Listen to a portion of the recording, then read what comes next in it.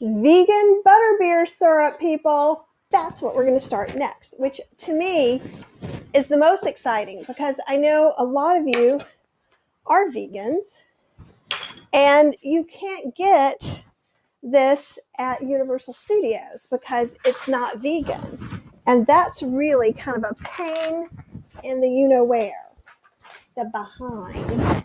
So, what we're going to do first let me get a couple of these guys ready, is I'm going to use full on vegan butter.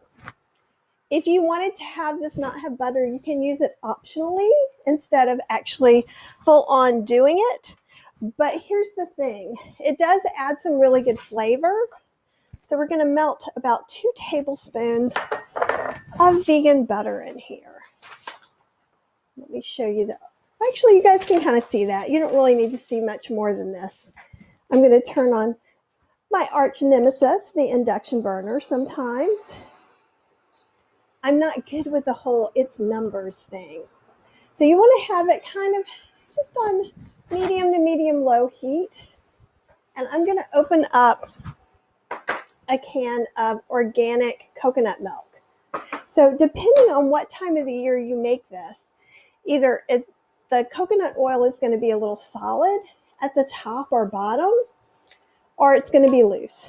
This is a medium day, so we'll see what happens. It could go either way.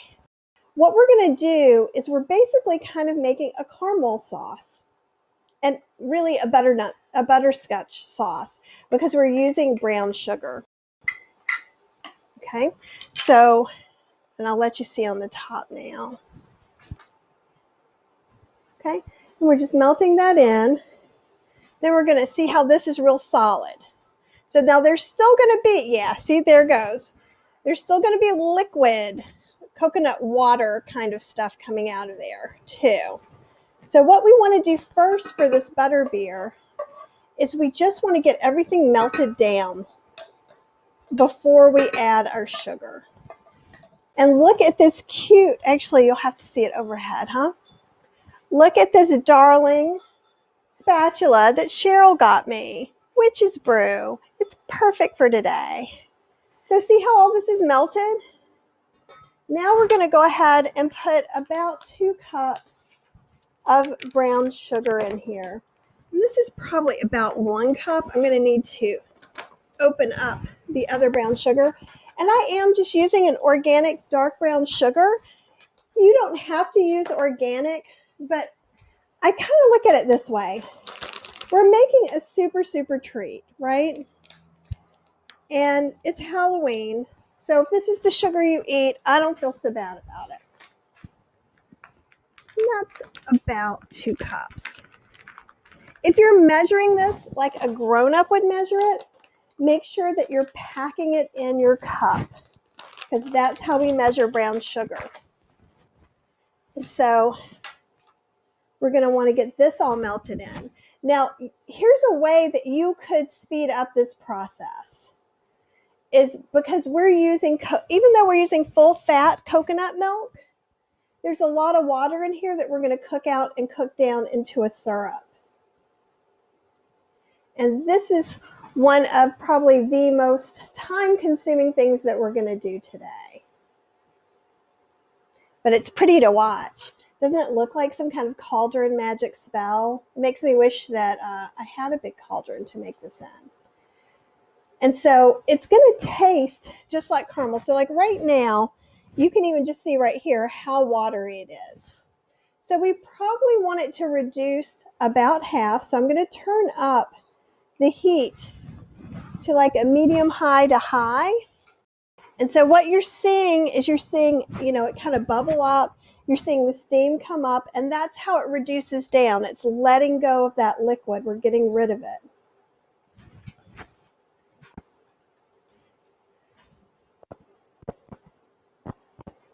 And it's kind of fun to watch it turn from this to when it really is a syrup.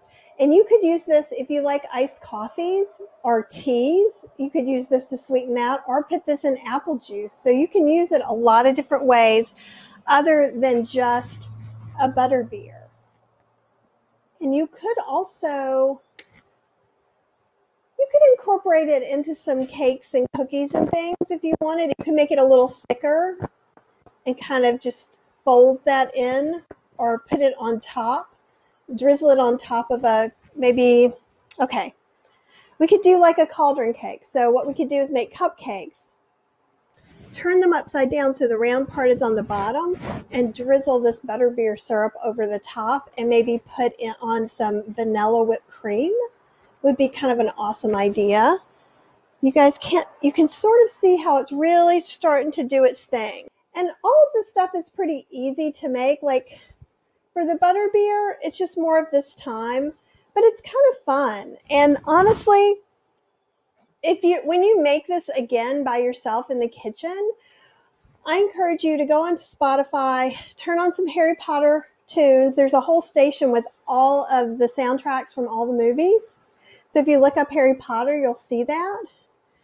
And then when you're kind of doing this, it's kind of fun.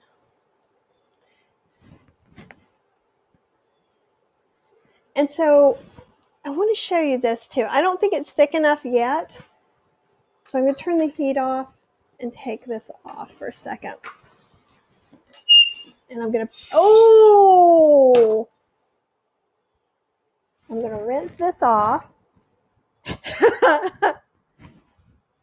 Because that was not my best move, was it? Obviously, this witch's brew whisk is not as magical as I thought it was. I thought it would not allow such things to happen. Okay, so once it's off the heat, you guys can see, then it kind of comes down. And you can see here. So it's thicker than it was before. And I think we'll actually see that better from this view. So it's thicker, but I'd like it to be a little bit thicker than that. We don't want it to be as thick as like hot caramel. And honestly, you could use it at this thickness, but I like it a little thicker. So that's why, honestly, that's the only reason we're doing it is because I like it thicker, just in case you were wondering. So we're going to put it back on again for a little bit longer. Okay, now we're really, really getting in there. So let me show you.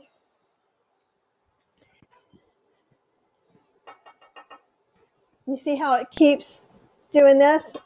Okay, so I'm to, I'm thinking this is probably about done. We're getting to, there's still some heat on here. So we're to do, move that back.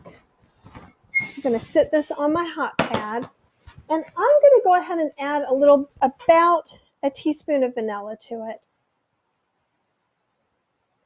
And if you do this while it's on this, the heat, it will start to bubble up. It's going to see, look, whoa, wasn't that fun? I'll do a little bit of that anyhow. So it can be a little thicker than this, but see how this is about double the thickness it was a minute ago when I checked? If you keep going, it really will become a very thick caramel. Which, so the way I'm looking at it, is that a mistake? I don't think so. So because what we can do too right now is I can show you a couple of different ways that we can use this. Now, one thing you can do that you don't have to is, um, I think I have a little bit let me rinse this out. I'll, we'll, I'll show you something super cool. Or at least I think it's super cool. I have, and you could use a frother, just like a regular old little hand frother to do this. This is a Vitamix Aer Disc, and it makes things really fluffy. Let me see if I've got, grab some um, barista. This is what's going to whip up the best. Anything that says barista on it. So this isn't in the recipe, but this is kind of fun. So I'm going to take about a cup of this and I'm going to make butterbeer topping. You can do this with any non-dairy milk you have. And you can shake it up in a mason jar, mic- take the metal part off, microwave it for about 30 seconds, and that'll help keep the bubbles up. So that's another way that you can do this. So that's, you don't need super fancy stuff. But I will show you what it looks like when you use this super fancy thing. So I'm pulling out my Vitamix. And this we're just going to use for the topping. This disc isn't like a regular Vitamix. It just actually infuses air into it. So when it's done, there's going to be about almost twice as much of this. So see here, and it gets a little frothy, but what it does is it makes barista froth. See to the side, it's really thick. So if you don't have the air disc, which is like AER disc, just to make it a little more complicated, um, you could um, put, like, let's see, I know I haven't, that's not a good example. This is good enough. So I might put, if I had a mason jar, about half that amount of non-dairy milk, I would close it really tight and I would shake it as hard as I could until a bunch of bubbles came. Or you can cheat and put it in your Vitamix and make all the bubbles, pour it in here. You still want it to be about to there after it's bubbled. You're not going to have a top on it or anything. You could put it in the microwave for about 20 to 30 seconds, and that helps it those bubbles stay a little bit more. Or if you have one of those hand frothers for um, cappuccinos, you can use one of those. And this is just a bonus to make it look a little more cool, you know, because we're all about the cool. And I'll do it in this glass. So, because this syrup, and this is again about how thick, see as it's cooling down, it's a little bit thicker. So I'm going to put probably at least start with two tablespoons. And we could do this in a mug, and maybe we'll do that next. And may, we could have hot milk in there. So I'm just going to put some soy milk because that's the non-dairy milk I use. You're probably going to want to use unsweetened because this is pretty much just sugar. So then we're going to pour some of this in. This is one way. We could also use um, sparkling water and to make it kind of like that as well. And then we're just going to kind of stir it in.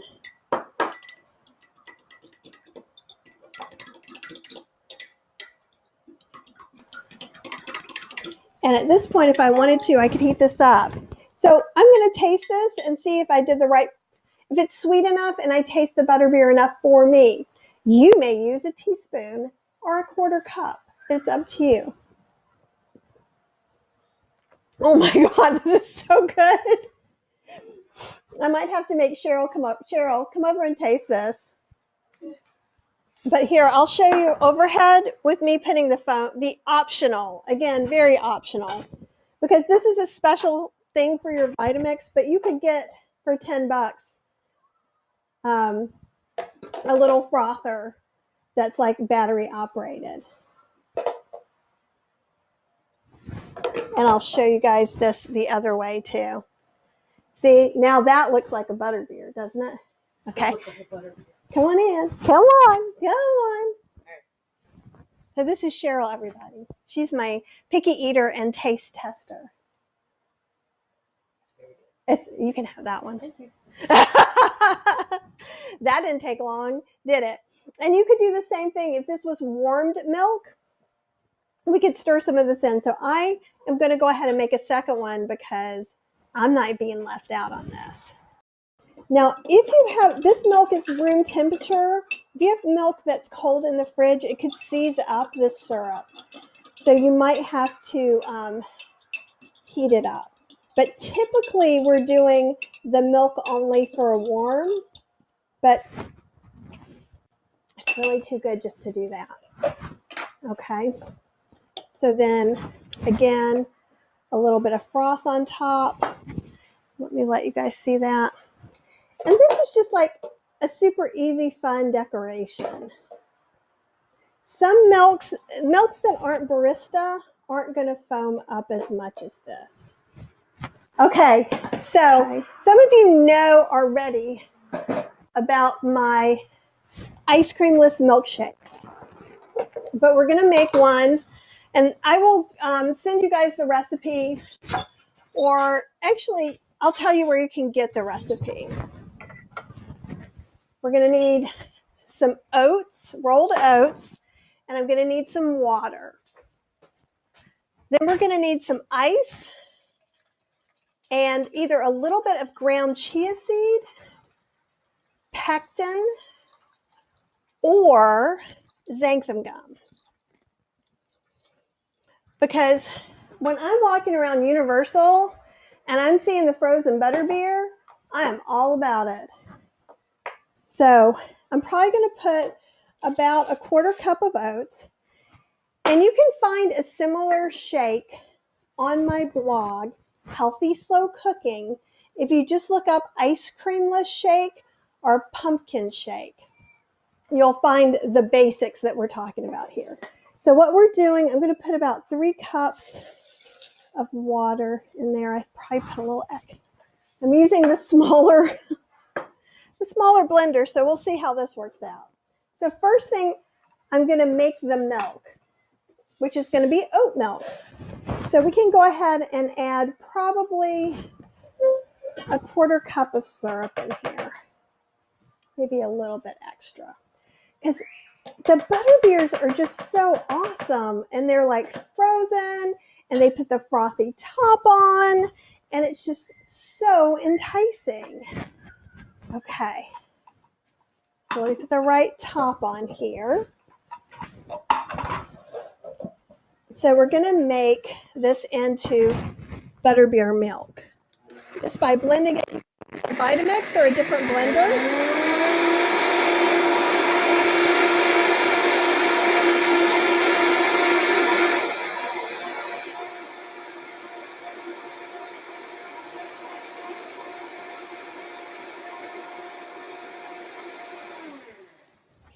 I'm going to do this in two batches because I'm using the small blender. So what I'm going to do is put half of it in here. That's the only reason I'm doing this is that I'm doing this in a smaller blender. So I'm going to do one serving at a time. And we'll make both.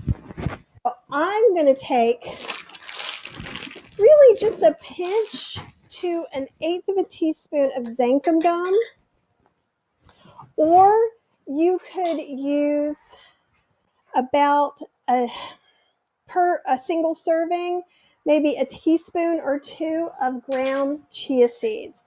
So xanthan gum is what people use to or what starbucks uses to pull together the frappuccinos to keep them together. So basically we're kind of making something like that. Okay so i'll let you see that from the top.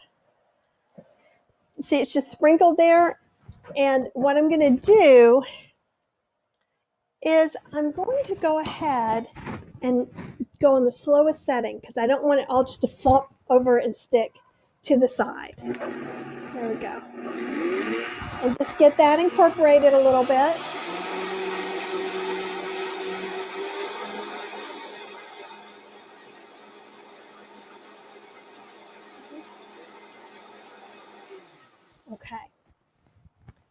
And we're not going to strain this milk because we're going to make it into a milkshake. So this is where I'm going to go to my fridge and I'm going to get some crushed ice.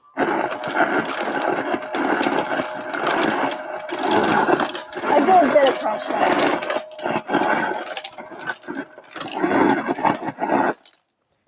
Okay. Let me show you overhead how I kind of decide. So see, and I rock it back and forth a little bit so you can sort of see the ice. That lets me know that's probably enough ice.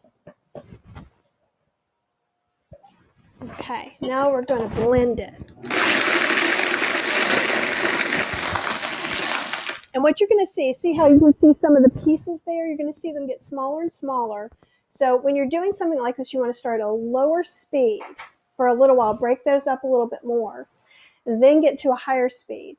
Now, at a certain point, there you lose your return. If you have it on high, the Vitamix will heat up, so it actually will start melting your ice. So, kind of keep an eye on the thickness.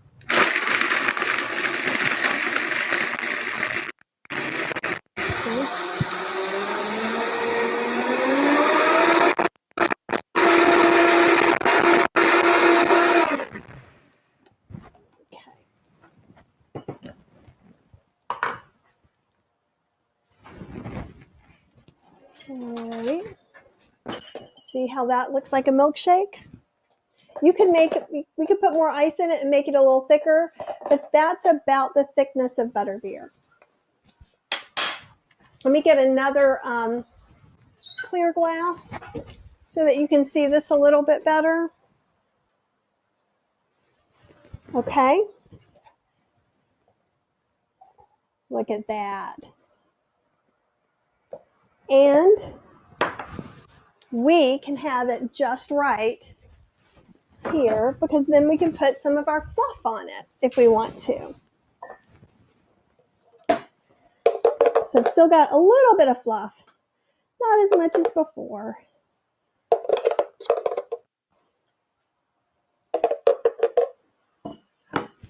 I'll let you see that from overhead. Let me get that in view.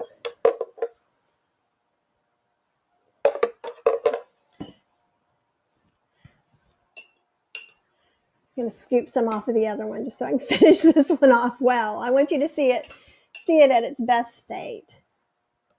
Because you know, it's kind of a bummer that we don't get to have frozen butterbeer at the parks. look at that.